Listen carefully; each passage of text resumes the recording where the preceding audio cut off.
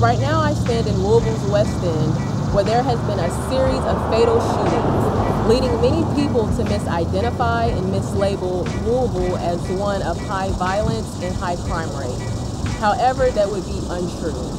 The West End is not a place of high violence and high crime. It is a place of low opportunity. If we wish to lower the crime rate, we must take it upon ourselves to raise the opportunity. That's why the Hustle and Motivate Youth Conference is so important.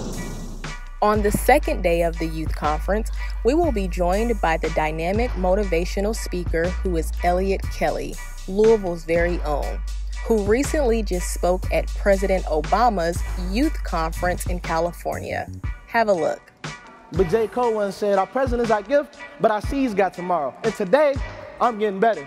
Today, I'm learning myself so I can feel again, so I can begin to heal, so I can talk to my nephew and my cousins and my future sons about more than sports and more than money. I want to help them through anxiety and depression and fear, and most importantly, love. The youth conference will also focus on topics such as financial education, leadership skills, and even violence prevention. This conference is completely free and will provide back to school supplies. You can register at eventbrite.com. Remember, there will be a showcase of colleges, employers, and even vending opportunities.